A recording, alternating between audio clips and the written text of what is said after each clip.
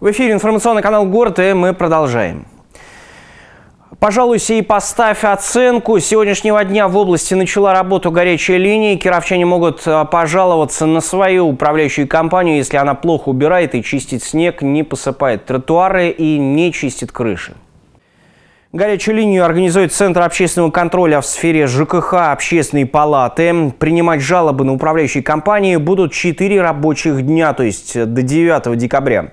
Параллельно с горячей линией территориальные управления города начали инспектировать дворы, проверяют посыпку лестницы, тротуаров, расчистку придомовых территорий и крыш. По крышам мы выдаем предписания. Вот за прошлую неделю выдано 17 предписаний, 10 из них устранено.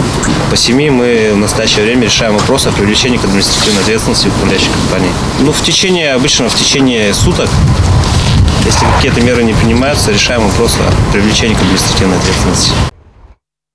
Кроме горячей линии, в эти дни общественники совместно с Госжилинспекцией составляют рейтинг управляющей компании области. Одним из критериев станет оценка собственников. Итоги будут подведены в начале января следующего года.